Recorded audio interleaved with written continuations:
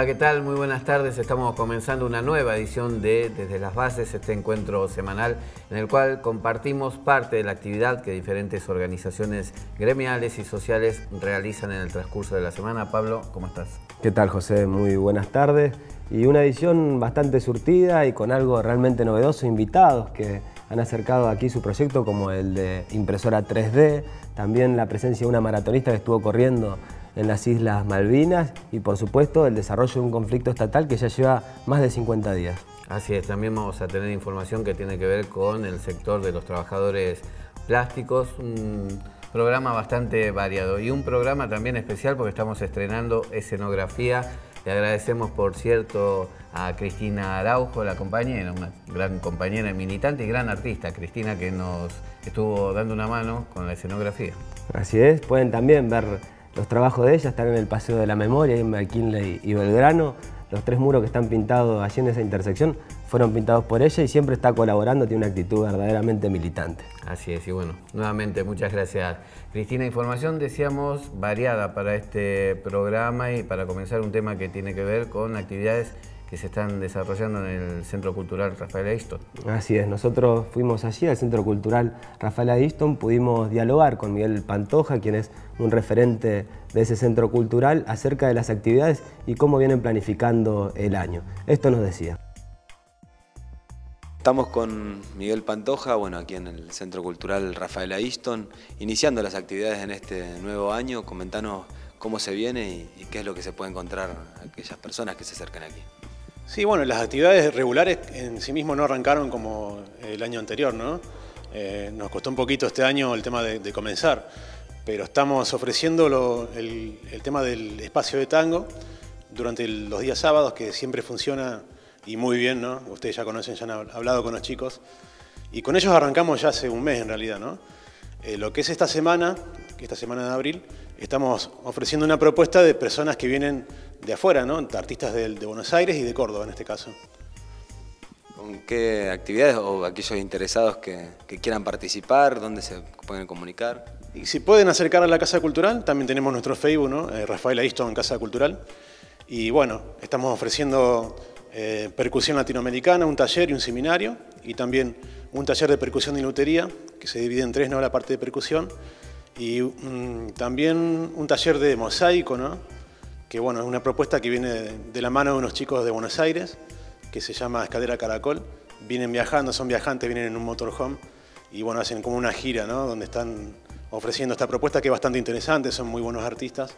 Y bueno, eh, también decir que de paso los conocí en este viaje, pero me han ayudado a hacer el, museo, que fue un buen momento, muy buena onda los chicos.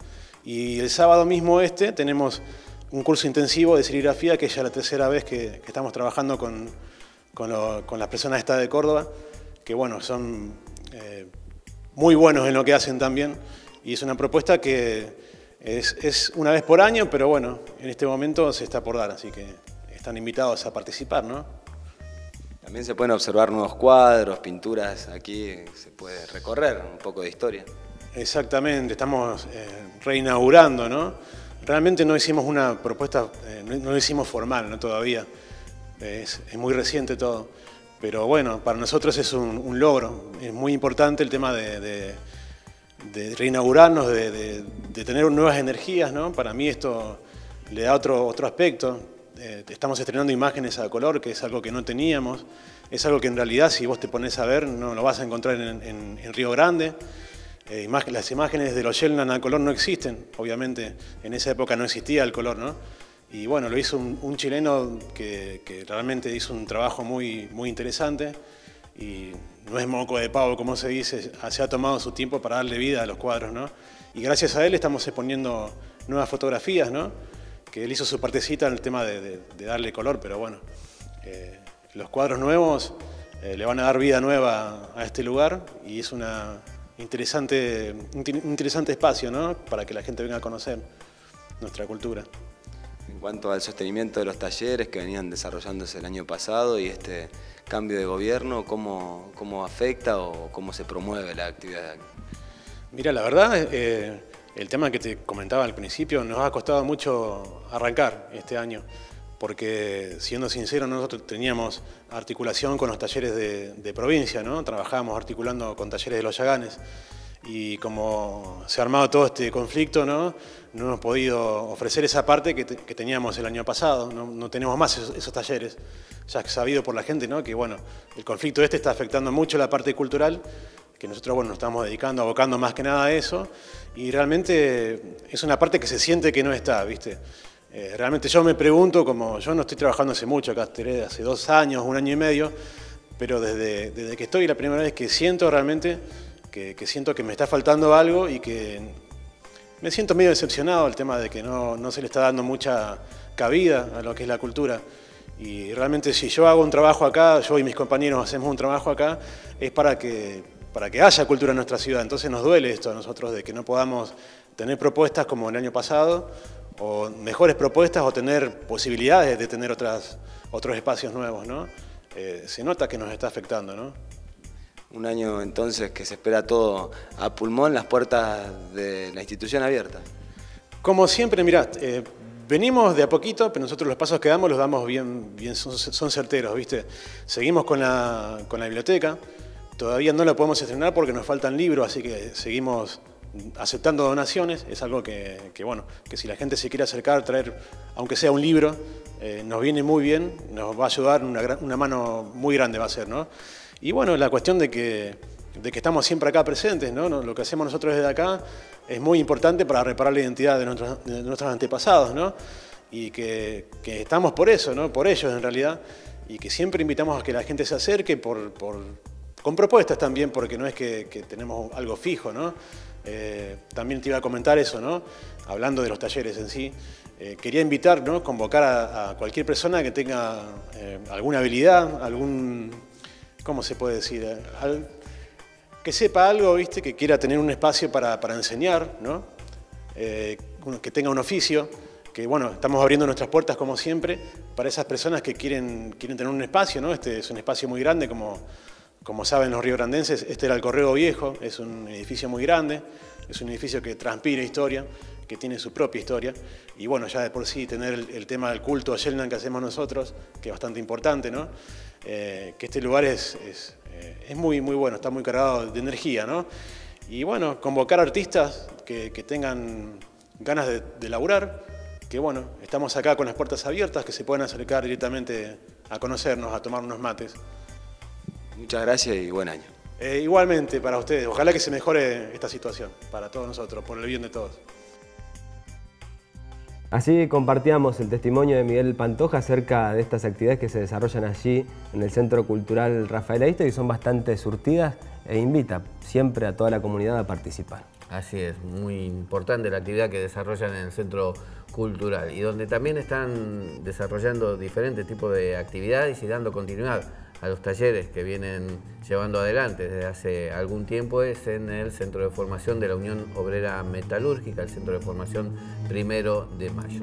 Hasta allí fuimos y allí dialogamos con el ingeniero Germán Guerrero, estaba al frente de una de las clases, de uno de los talleres que se están dictando. Con él dialogamos y nos daba los detalles. Germán, bueno, en principio, buenos días. Eh, sabemos que continúan los cursos aquí en el Centro de de capacitación, ¿con qué características, por lo menos este que estás dictando? Bien, este curso en particular es un curso que se llama Introducción a eh, Televisión Digital Terrestre. Eh, un curso donde ellos justamente ven, eh, más que nada en principio, los conectores que se usan en video, en video de tipo analógico. Después sigue este un curso que es de televisión digital terrestre. ¿sí? Es de electrónica, obviamente, se trata de manejo de algunos instrumentales, como han podido ver, se usa el osciloscopio, se usa distintos instrumentos para hacer mediciones. Y básicamente está apuntado por ahí también a comprender y también eh, poder reparar en algún momento televisores tipo digitales, que son los de última tecnología que se están comercializando por hoy. ¿Vienen eh, alumnos con conocimientos previos? Sí, los alumnos que están presenciando en este caso el curso son alumnos que ya hicieron una serie de cursos anteriormente, hicieron cursos de introducción a la electrónica, electrónica 1, electrónica 2, en algunos casos electrónica 3 también, y recién vienen a este curso.